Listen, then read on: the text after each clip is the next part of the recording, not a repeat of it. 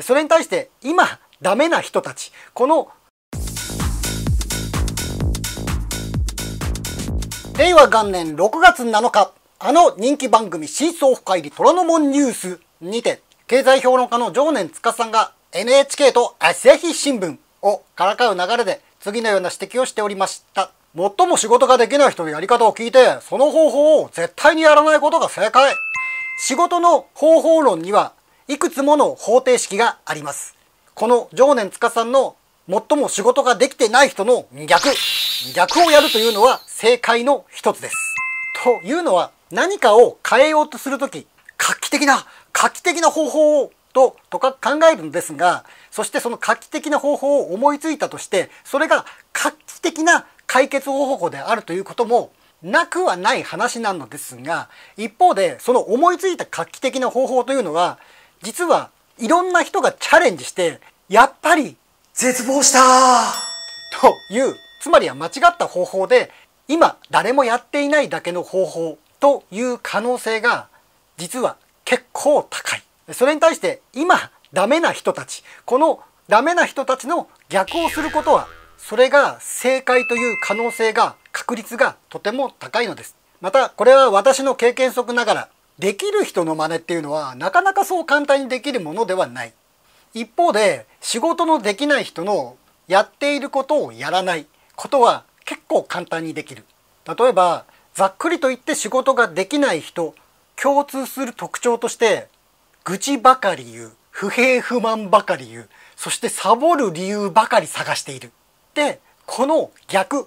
愚痴をあんまりこぼさず不平不満もそれほど言わずサボる前にまずはやってみる。これを実践すると愚痴を言う文句を言ってる暇に手足を動かして仕事をするんで技術も身につくし経験値も高くなる。そしてとにかくまずはやってみる。やってみせることによって周りの信頼も集まる。そして学歴も資格も人脈もなくついでに言えば親戚などの後ろ盾もない私がどうにかこうにかサバイブ。サバイブできたのは、まあ、こうした仕事ができないかなかなという人たちの逆逆をやってきたからかなと考えております。まあ、そうした視点に立った時にこいつ仕事できねえなとかいう人がいてもそれをピッピッとする前に一度冷静に観察してみることそれがとても役に立つことが多々タタタタタタタわた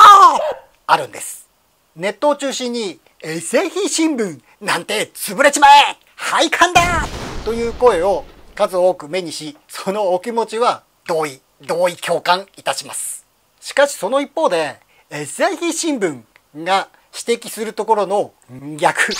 逆をすると大体正解。なので社会問題にせよ外交にせよ朝日新聞というのは逆説的参考書になるんです。令和元年6月6日の社説日韓の摩擦首脳間で打開の糸口をと題した朝日新聞の社説も大変参考になる逆説的な参考書でございました。社説はこう始まります。問題が深刻だからこそ、首脳と会って打開を探るべきだ。相手が折れるまで会わないというのでは、あまりに画量を書く。安倍首相による韓国への姿勢である。大阪で今月末に G20 首脳会議が開かれるが、その際に来日するムン・ジェイン大統領との会談が未だ設定されていない。つまり、朝日新聞は南国のムン・ジェイン大統領と会え、我らが安倍晋三首相に会え、と指摘している。つまり、これは逆。逆なわけですから、我らが安倍晋三首相が今現在南国に対して取っている戦略的放置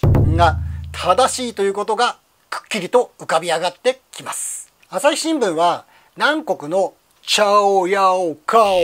への賠償判決を理由に首脳会談に応じないのは今までの日本の主張に反すると指摘しその理由としてすぐには解決できない歴史問題については他の課題と切り離すべきだと訴えてきた。と朝日新聞はおっしゃいますが「チャオヤオコー」は今現在進行形の出来事。確かに働きたい方いませんか？はいはいはいはいとトコトコトコとやってきて働いていたのにちょっと時間が経ってああもしかしたらあの時のお金、まだもらえるかな？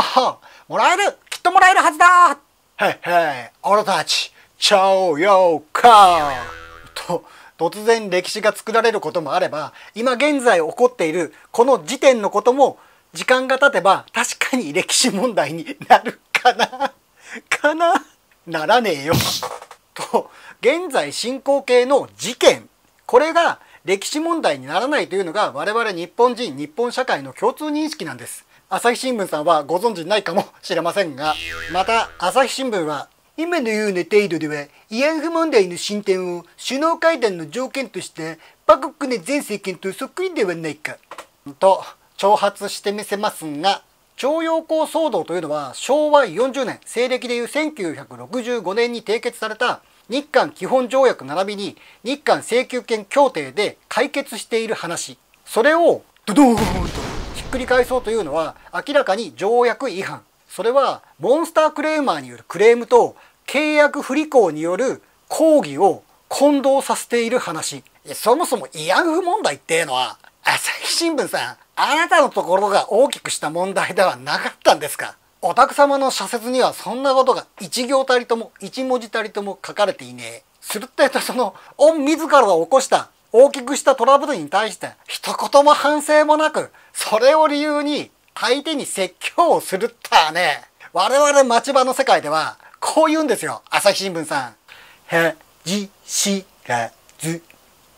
はじしらずしらずしらず。さらに朝日新聞さんの社説は歴史問題以外にも日韓には懸案が横たわるとして次なる懸念をまた並べてみせます。日本は今月から韓国水産物の輸入の際の検査を強化して日本政府は否定するが福島第一原発事故の被災地などの水産物を全面禁輸している韓国への対抗措置とみられている。食の安全安心をめぐる繊細な問題であり辛抱強い交渉で改善を図るほかあるまい。異種外種のような措置が続けば両国間の盛んな市民交流にまで悪影響を及ぼしかねない。あのこれ福島県を筆頭とした福島宮城岩手青森群馬、茨城、栃木、千葉。この8県。この8県からの水産物を輸入拒否しているのは南国。そして我が国が南国の水産物を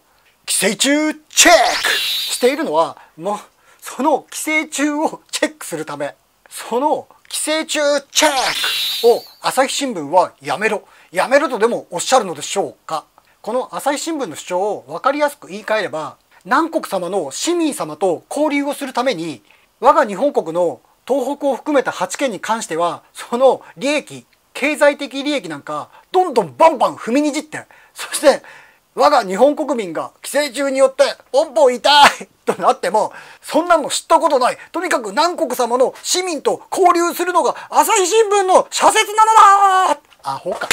朝日新聞さんやだよ、まあ、つまりこれも朝日新聞の主張なんで全て逆、逆が正解。この後、朝日新聞の社説は申し訳程度に南国を批判しますが、我らが自衛隊哨戒系のロックオンレーダー照射事件については、一行どころか一文字たりとも触れない。我らが自衛隊の皆さんというのは、我が日本国を守るために日夜命を懸けて訓練をし、紹介活動をしてくれている。それはすなわち、私たち日本国民の生命、安全、安心、笑顔、これを守るために文字通り命がけで仕事をしてくれているんです。自衛隊の紹介活動とは、まあ、分かりやすく言うと日本を守る警備員によるパトロールみたいなみたいなものでございます。さらに例えるなら日本の EEZ 排他的経済水域というのは基本的に誰でも通行できるんですがそこでの経済的利益は我が国が持つ街角でいうとこの指導私の道、指導みたいなものでございます。そこを我らが自衛隊の皆さんがパトロールをしてくれていた。そこに南国の軍人がいたので、我らが自衛隊の皆さんがどうしたんですか？と、トコトコトコと近づいていったら、近づくなよああと、ロッンレーダーというのは、このように引き金に指をかけているような状態。我が指導に南国の軍人がいたので、我らが自衛隊がどうしたんですかと、トコトコっと近づいていったら、撃つぞ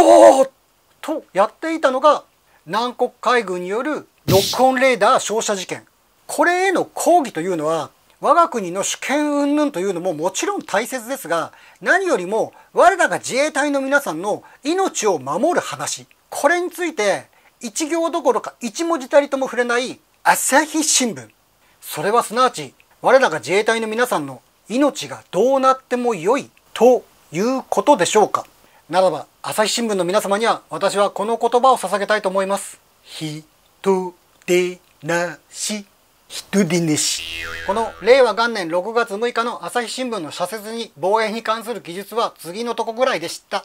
日韓は先月の外相に続き今月は防衛省同士がシンガポールであった安倍首相は北朝鮮の首脳とは前提条件なしに会うというが一方で韓国首脳を遠ざけるのでは朝鮮半島政策に取り組む本気度が疑われるはい今「弱腰何愛想笑いして握手してるんだよ!」とネットの皆さんと日本国旗でおなじみ百田直樹先生に「目」と叱られている岩谷武防衛大臣がシンガポールで南国の国防大臣と会いましたとさ。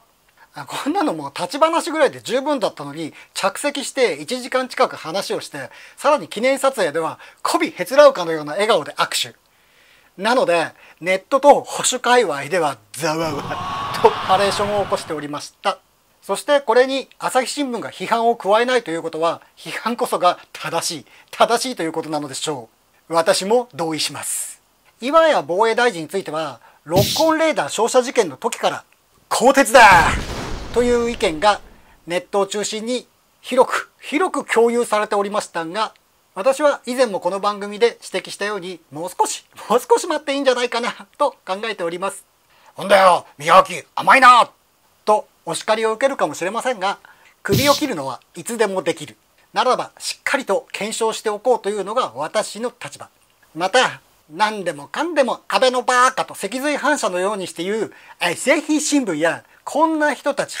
を日頃から観察しているとえ彼らの反対が正解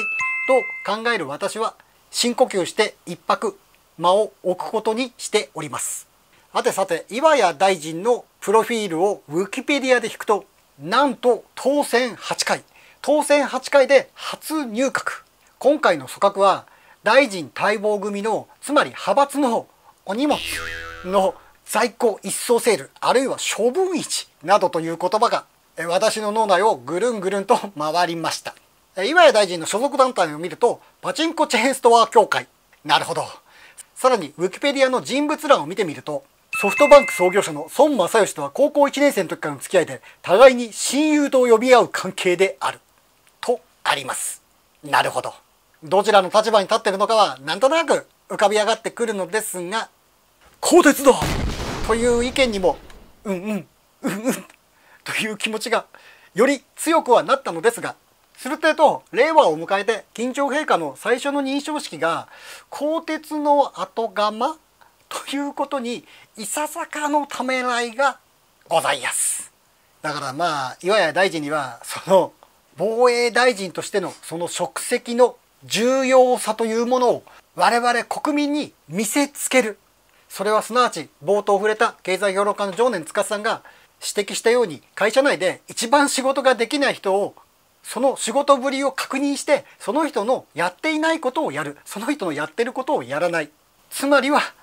朝日新聞同様の逆その人の逆という反面教師としての役割ぐらいはまだ岩や防衛大臣には残されているのかなと考える今日この頃でございます。そんな悠長なことを言ってる間に何かが起こったらどうすんだよ。はい。そんな時には遠慮なく、これ。んで、我らには、殿下の宝刀、小野寺逸則があるので、私もいささか悠長に構えております。ご視聴いただきありがとうございます。チャンネル登録の方もよろしくお願いします。それではまたの機会もお付き合いいただければ幸いです。最後に、ワンコのコーナーでお別れです。バイバイ。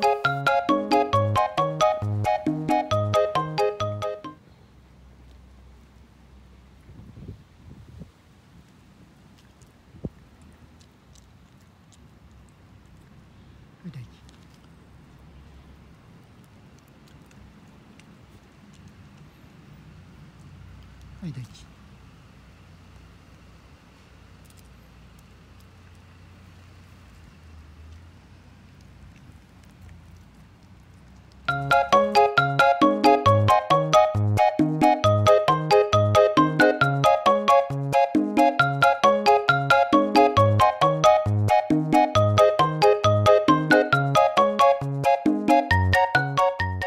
安倍晋三完全勝利説という物語ならにモルゲストよと赤が勝ち。